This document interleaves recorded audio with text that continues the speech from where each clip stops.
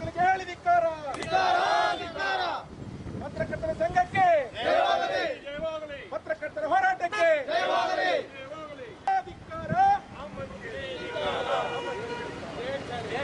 ಹೇಳಿ ಧಿಕ್ಕಾರ ಪತ್ರಕರ್ತರ ಮೇಲೆ ಹಲ್ಲೆ ನಡೆಸಿದ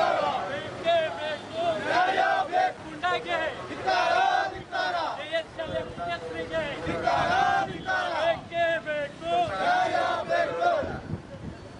ಹೇಳಿ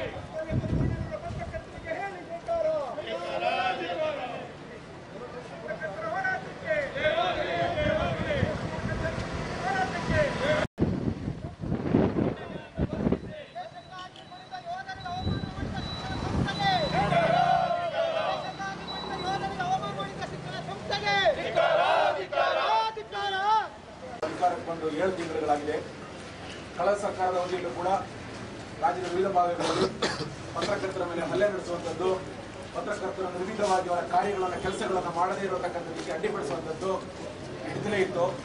ಈ ಸರ್ಕಾರ ಬಂದ ಮೇಲೆ ನಮ್ಮ ಚಿಕ್ಕಮಗಳೂರು ಜಿಲ್ಲೆಯಲ್ಲಿ ಇದೊಂದು ಪ್ರಥಮ ಘಟನೆ.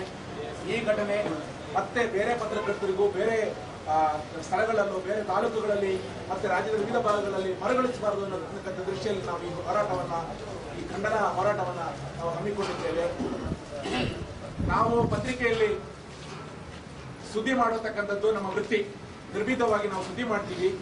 ಸುದ್ದಿ ಮಾಡಿದ್ರೆ ಆ ಸುದ್ದಿಯ ಬಗ್ಗೆ ಪ್ರಶ್ನಿಸತಕ್ಕಂಥ ಹಕ್ಕು ಪ್ರಜಾಪ್ರಭುತ್ವ ವ್ಯವಸ್ಥೆಯಲ್ಲಿ ಎಲ್ರಿಗೂ ಇದೆ. ಅದನ್ನ ಪ್ರಶ್ನಿಸತಕ್ಕಂಥದ್ದು ನ್ಯಾಯಾಲಯ ಇದೆ, ಪೊಲೀಸ್ ಠಾಣೆ ಇದೆ.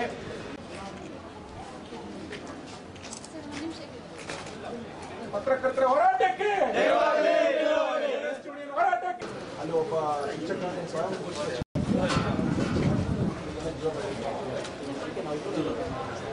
ಚಿಕ್ಕಮಗಳೂರು ಅವರು ಈ ಕಣ್ಣಿನಿಂದ ತೀವ್ರ ಮನನೊಂದು ಜೀವ ಭಯದಲ್ಲಿ ನರಳುತ್ತಿರುತ್ತಾರೆ. ಸಂಘವು ಈ ವಿಷಯವನ್ನು ಅತ್ಯಂತ ಗಂಭೀರವಾಗಿ ಪರಿಗಣಿಸಿದ್ದು ಆದ್ದರಿಂದ ಈ ಘಟನೆಯನ್ನು ಖಂಡಿಸಿ ನಮ್ಮ ಸಂಘವು ಈಗಿನ ನಡೆಸಿ ತಾಲೂಕು ಪತ್ರಕರ್ತರಿಗೆ ಅಲ್ಲಿಂದ